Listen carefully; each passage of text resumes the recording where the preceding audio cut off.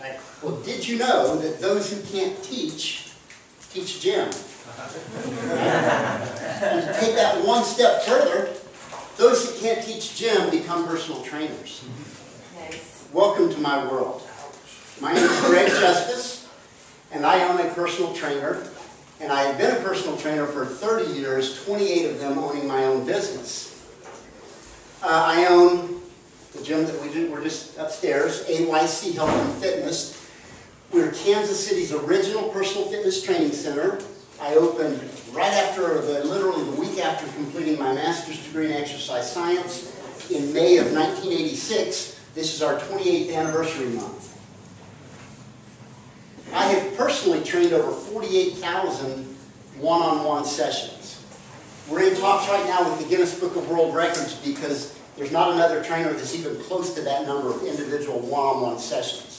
There was a time when I had 78 regularly scheduled one-hour appointments, personal training, on my book. They were regular, uh, can say, or, regular sessions weekly.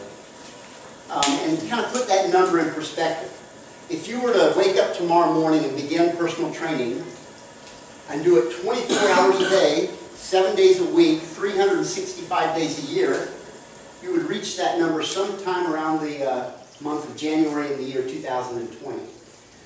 Uh, so I have been there, done that, and lived in the trenches of personal training. Uh, so all of you know, all of you are about to enter into the world that I have been there and done that, and I want to share some of my experiences with you through those 48,000 sessions. Um, I've actually authored 13 books, seven of which, actually number seven, will be published in about how many weeks? Two. Two weeks? I'll bet three or four. um, it's the, the last one over here. I can only fit five of them on the slide. But uh, the last one here, the psychology of athletic success, mind over head chatter. Um, but today, we're here to talk about treadside manner, right? It's about the business of personal training, what will really keep you in business for a long time. Now, you've all heard the term bedside manner, right? A doctor's bedside manner. Well, the, the doctor-patient relationship is actually central to the practice of healthcare. And they actually start teaching doctors bedside manner the very first day they start medical school. That doctor-patient relationship is so critical to their long-term success. And I want you to understand the importance of what I call treadside manner of that client-trainer relationship and how important that is for your all success. Now, uh, to give you an example of that, my average client has been with me for 24 years, my average client. I closed my books in 1994. I'll occasionally take on a new one for a period of time, but that was when I officially closed my books, about 20 uh, years ago this summer. Um,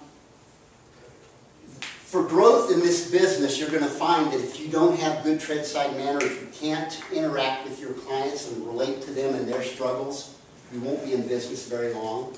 I want you to understand the importance of that relationship that you develop with your clients. The average client-trainer relationship, I've read a few different studies, but on average you'll hear it's somewhere between six months and 12 months, right? So what does that mean to a personal trainer?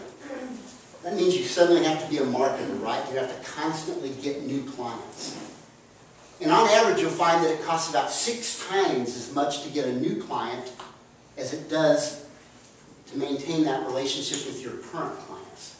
You start to understand the importance of maintaining those relationships for the long haul. Now, how many of you are familiar with Donald Trump's show, The Apprentice? Okay, what's the line he likes to use?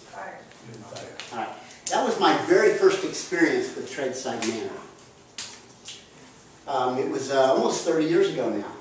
I uh, was managing a local workout center, and I walked into my office one day, and there was a gentleman behind my desk. My first inclination was, this probably isn't good, right? The club had been for sale. I didn't know it. And this is a gentleman who purchased the club from the owners.